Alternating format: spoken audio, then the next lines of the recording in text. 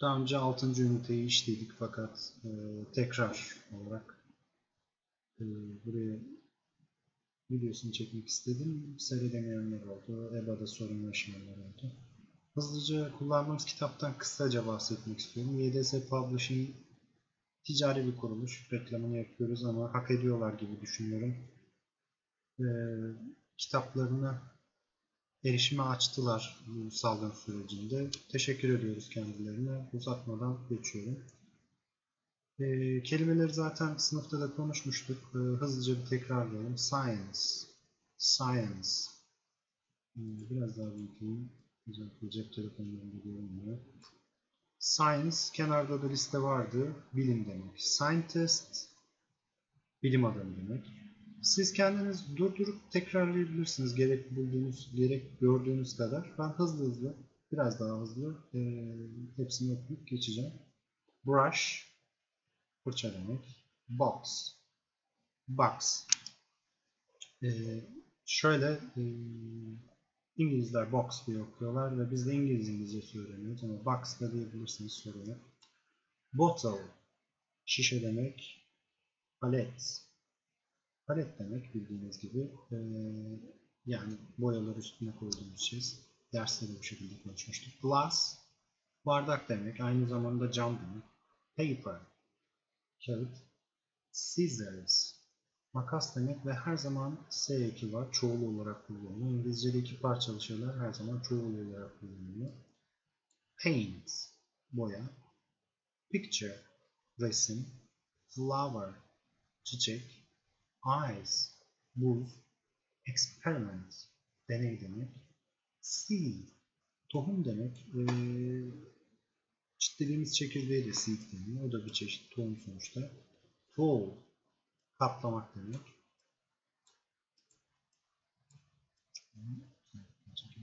Color.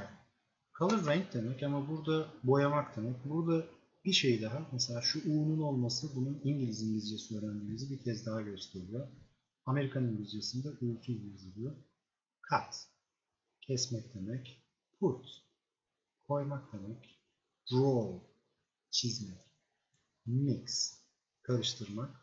Shake, çalkalamak demiştik. E, dans etmek olan çalkalamak da hani ikisi de kullanılıyor ama şişeyi çalkalamak da olabilir.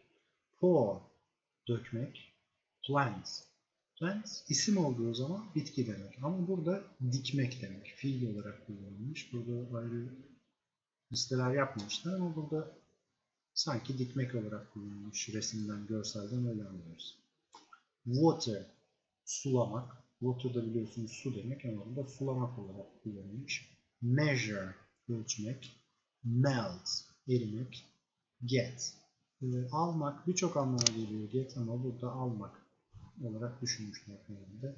Lab, laboratory'nin kısaltılmışı yani laboratuvar Türkçedeki. Bakalım.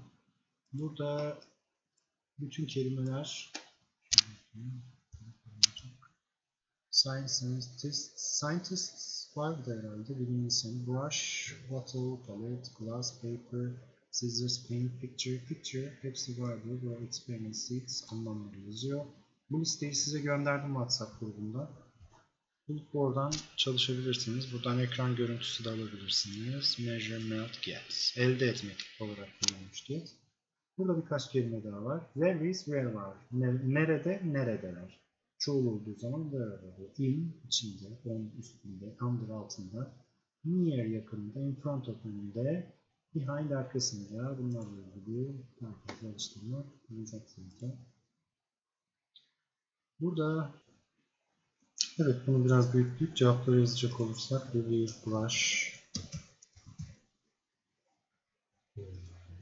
şuraya yazalım. Bu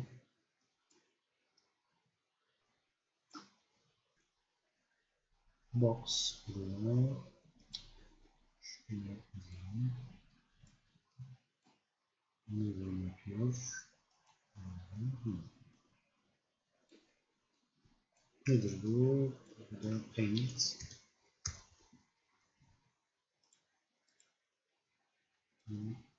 Glass.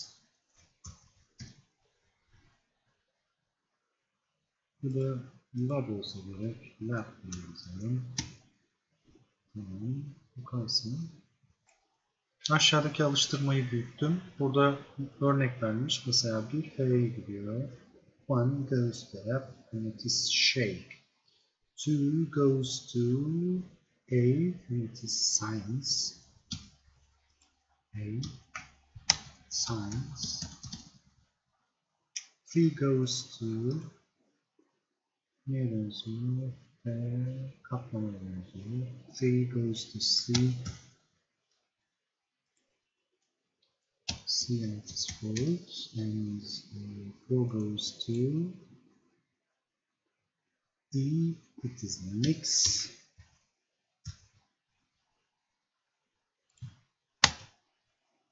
Ee, Buna bakalım neye benziyor? Ne kaldı geriye? Şu. Paper. And five goes to B. And this is paper. Six goes to what? This is cat. Tamam. Bunları eee görebiliyor musunuz bilmiyorum. Onlara bir bakarsınız tekrar. Ee, science, bold, mix, paper cut. Bir sonraki alıştırmada read and circle diyor. Okuyun ve yuvarlak içine diyor. Fold the paper. Fold katlamak demektir. Burada çocuk kağıdı katlıyor.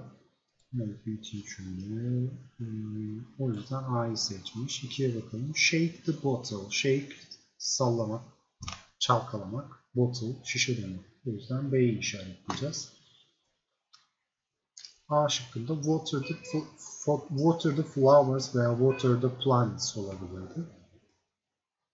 Ha, zaten geldi. Water the flowers geldi. Çiçekleri sulamak bu olacaktı. Bunda B'yi işaretliyoruz. Bu ise neydi? Plant a tree, plant a flower olabilir. Plant a, a seed veya seedling diyebiliriz. Tohum değil ama e, fidan dikmek. Neyse bu bunun cevabı. Water the flowers olanı bu. Çiçekleri sulamak. Mix the paints. Boyaları karıştırmak. A'yı işaretliyoruz. Bu çizmek belki bir şeyler. Plant the seeds. Tohumları ekmek. Ve burada hangisi oluyor? Şu oluyor. Bu daha sonra sulamak. Ekmek sadece. Son olarak pour the water. Suyu dök demekti. O da bu. Dinleme etkinliğini geçiyorum. Şu an elimde dinleme metinleri yani e, script e, dinleyebileceğimiz bir medya yok yani. O yüzden geçiyorum. Bu sayfada Let's Learn Giving Instructions diyor. E, talimatlar verme. Bunu derste çok iyi yapmıştık aslında. O yüzden e, hızlıca cevaplarını yazacağım okuyup ondan sonra. Bir kişiye bir işin yapılması konusunda talimat vermek, emir cümlelerini kullanırız. E, konusunda emir cümlelerini kullanırız. Emir cümleleri fiil ile başlar.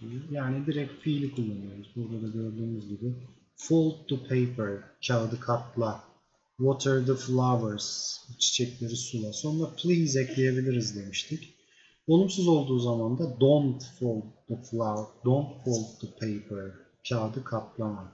Don't water the flowers. Evet. Aşağıdaki örnekte bunları ve uygunlarını yerleştirip don't koyacak başımıza başlarına e, yazıyor. Evet yani şöyle oluyor. Don't shake the bottle. Şişeyi sağlama. Şişeyi sallama. Don't mix the paints. Boyaları karıştırma. Don't water the plant. Hmm. Tabi burada don't water the flowers diye yazmış. Ee, siz doğrusunu yazabilirsiniz. Don't pour the water. Suyu dökme. Don't cut the paper. Kağıdı kesme. Ee, bunu size ödev olarak veriyorum. Lütfen buradaki bütün cümleleri defterinize yazın. Ve yanlarına e, bunlara benzer şekiller çizmeye çalışın. Resimler çizmeye çalışın. Geldin.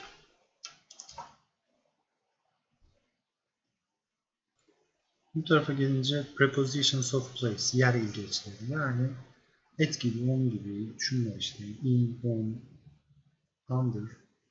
Bilgeç eski adı edat. Yani kendi başlarına çok anlamlı olmayıp, anlamlı olmayıp cümle içinde anlam kazanan kelimeler. Bu nesne ya da kişilerin nerede olduğunu sorarken where is ifadesi kullanırız. Bir nesne ya da kişinin nerede olduğunu sorulurken where is kullanırız. Eğer çoğulsa where are kullanırız.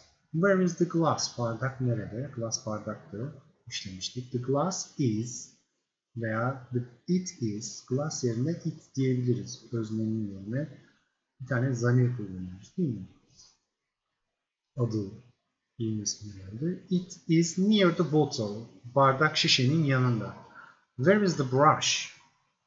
Fırça nerede?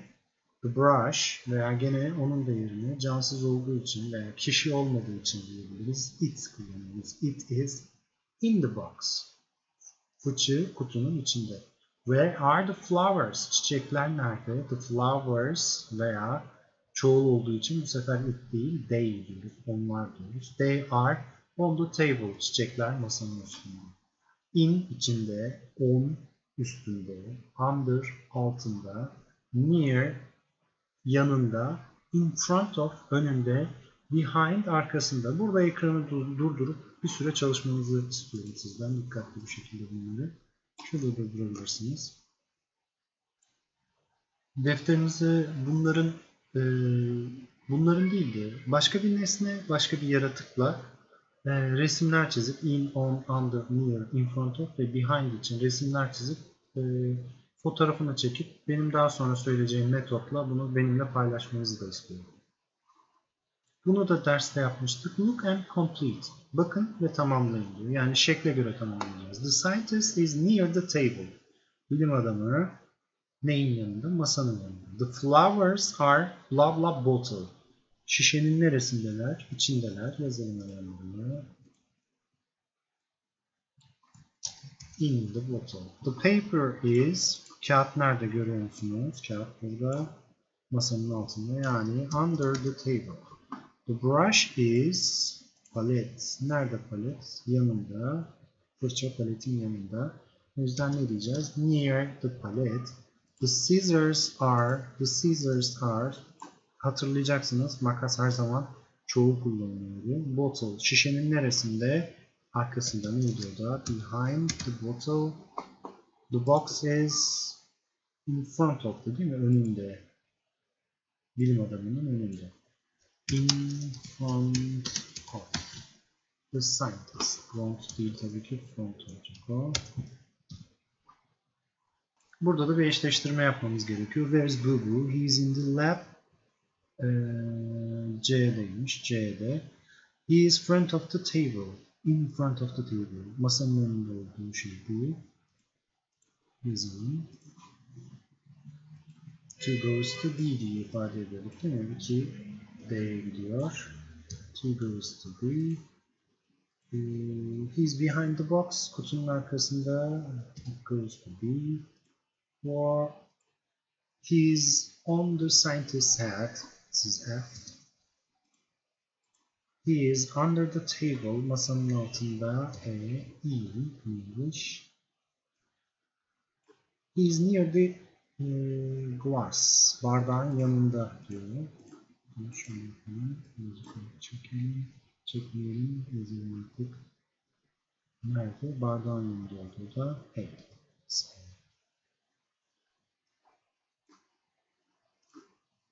Bir sonraki alıştırma e, gene dinleme ama biz hızlıca şöyle bir göz atalım. Dinleyemeyeceğiz gene ama Where's the bottle? Uh, it's under the table. Bunu gösteriyor. Where is the flower? Bu Uh, the flower is near the uh, glass. The flower in the glass. B olursa bu olacak. Where is the brush? The brush is on the box veya ön, önünde diyelim. Üstünde değil herhalde. In front of the box. Bu B'de ise the, the brush is behind the box. For the scissors are in front of the box. The scissors are behind the box. Where are the scissors soru. Scissors her zaman are'la ve çoğulla kullanılıyor hatırlıyorsunuz. The book is on the table. The book is on the table. The book is under the table. Where is the pencil? The pencil is in the pencil box. The pencil is near the pencil box. Öbür sayfada Let's Learn diye bir bölüm var. Ask in English or Turkish meaning. İngilizce veya Türkçe anlamını sorma. Bir şeyin İngilizce'deki anlamını öğrenmek için What is blah blah in English sorusunu soruyoruz. Türkçedeki anlamını öğrenmek için What is blah blah in Turkish diye soruyoruz. Mesela örnek vermiş. What is seed in Turkish? Seed kelimesinin Türkçesi nedir diye. Mesela şu, şu, şu alıştırmayı size göndereceğim. Çıktısını alabilirseniz çıktısını alın. Aksi takdirde e, defterinize yazın. Karşılarına da şekillerini çizin. Fotoğrafını çekip bana gönderin.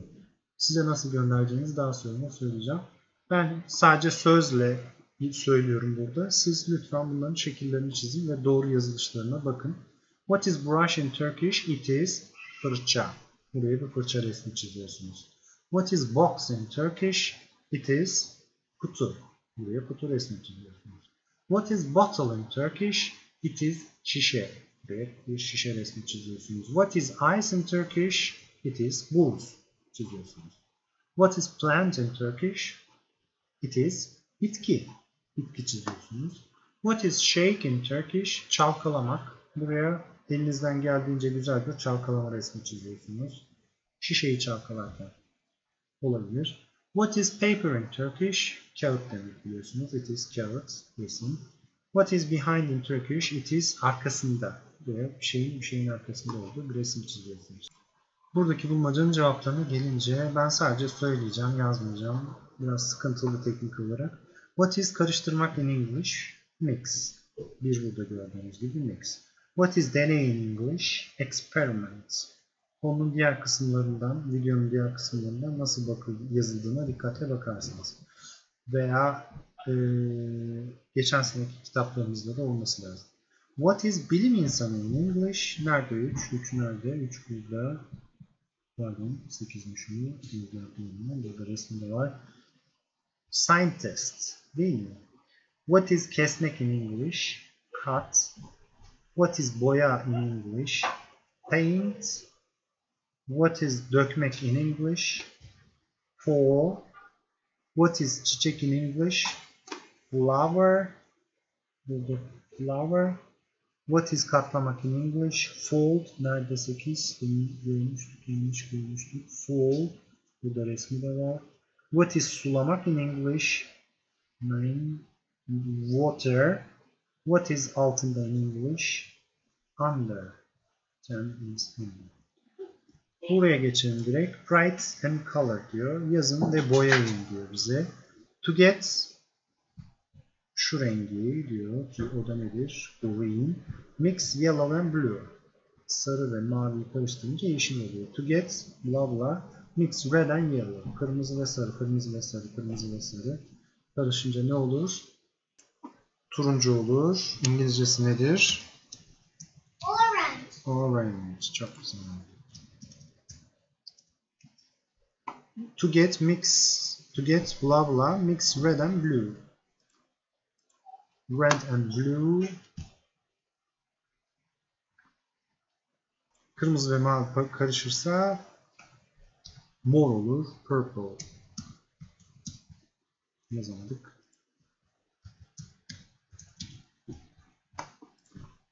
Evet çocuklar soruları hızlıca göz atıp test sorularına konuyu bitireceğiz.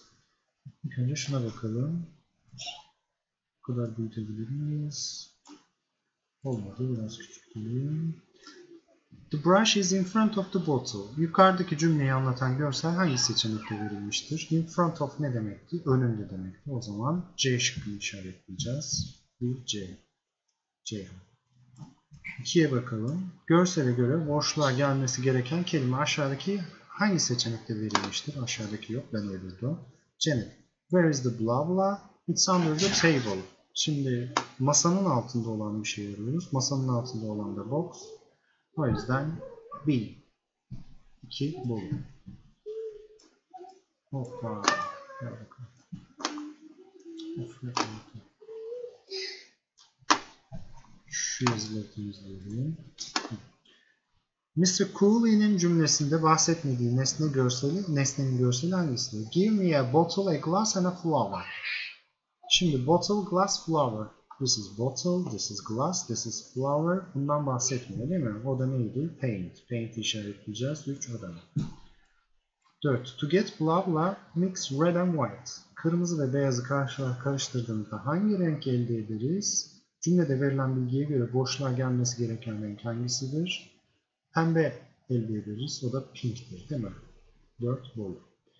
Seçeneklerdeki kelimelerden hangisi diğerlerinden farklıdır? Box, ice, glass, cut. Ee, şimdi